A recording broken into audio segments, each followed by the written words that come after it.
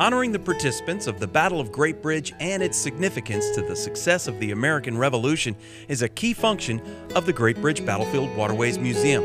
Its mission also entails the importance of our historic waterways that are central to Chesapeake's history and community.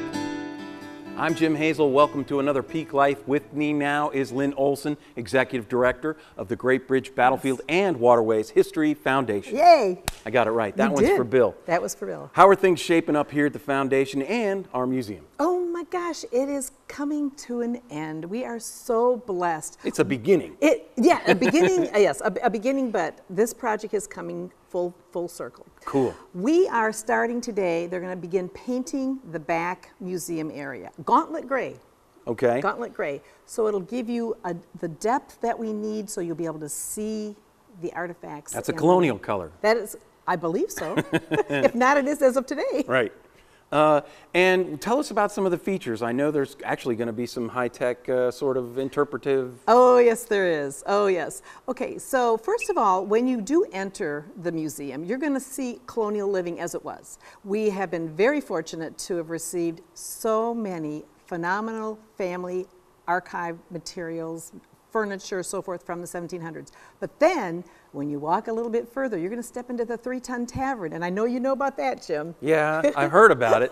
It- That- there I was a- wasn't old enough to Oh, actually on. attend a three ton tavern. I was underage at the time, I think. Well, I, I think so. But anyhow, uh, we found out that in colonial days there was actually a three-ton tavern in the village of Great Bridge. Mm. That being said, we're recreating it because in the 1700s, that's where they got their news of the day. Right. Not only their drink and their food many times, but they got their news of the day. So rather than turning on CNN, which you would probably do today, or Chesapeake News, Yeah.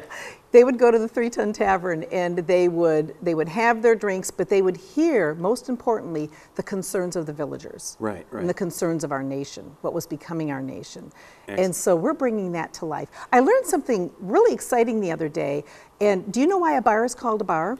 Uh, I suspect because they locked up the victuals or whatever you want to call them. At the end of the day, Libations. Woohoo, yes. Actually, they did. They started having to put bars on top of the tavern portion of the tavern because of the fact that the villagers or the, the people that were traveling that would stay overnight, some of them slept on the floors, and guess Right. what they'd help themselves to in the middle of the night? No. so that's how a bar became a bar. Okay. Yeah. And well, what else is coming in? I Okay. know you got this huge room. There's such a beautiful space in here. Uh, tell us out. Okay, well, let me finish a little bit more about the museum Okay. first. Okay, so we're going to have a prelude to the battle, and in there you're going to hear and see a lot of good things that led up to the battle. Okay. Okay. When you go in the battle room, you're going to feel Battle room? Yes, there's going to be a battle room in the center, and when you walk into the battle room, you're going to feel like you're in the middle of the battle.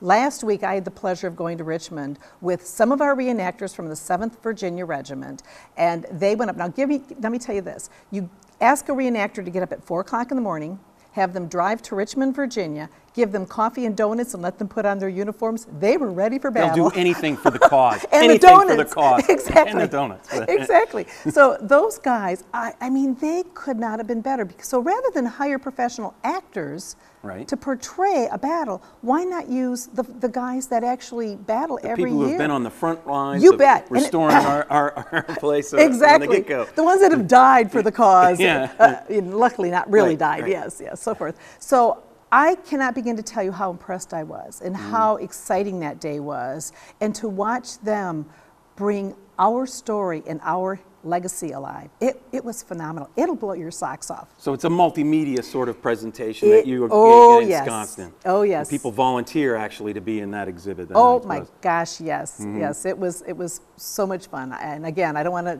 take away from what you're going to experience hopefully in just a few months. After that's going to be the aftermath of the battle. What happened afterwards? And we're going to talk about the burning of Norfolk. Uh, Mm-hmm. one of the things that we will have either on display or a copy of it is we've purchased, my husband and I have purchased a newspaper from the 1700s that talks about the burning of Norfolk. It's Right. an original account of it. And that'll be part of that exhibit. So it'll talk about what happened after the battle.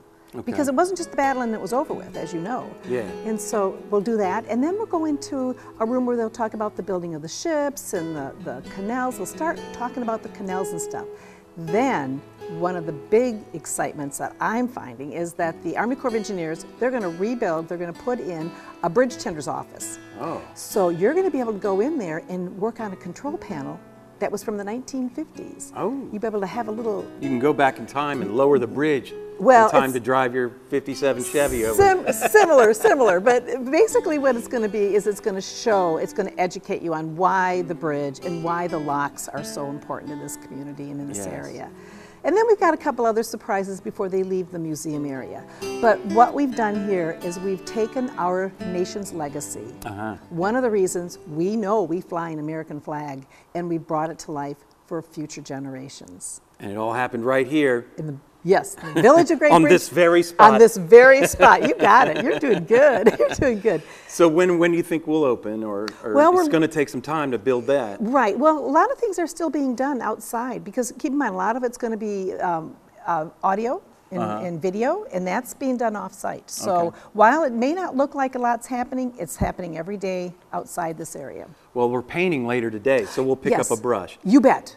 You bet. Yes. I expect you to come back in your Right. paint clothes. I'm in my paint clothes, so just in case. There's a lot going on, a lot happening at the Great Bridge Battlefield and Waterways History Foundation, as well as the Great Bridge Battlefield Waterways Museum. Stay tuned. History's coming alive right here. For more information, just go to gbbattlefield.org.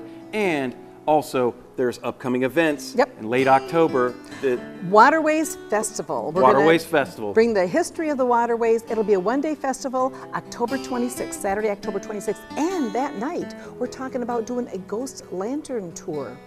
See? And they have tri-cornered hats. So, Yes. So stay tuned. This is one of the only places you can get them. They don't make them like this They anymore. don't. All right. Stay tuned and thanks for joining us here on Peake Life. We'll see you next time. Thanks for having us.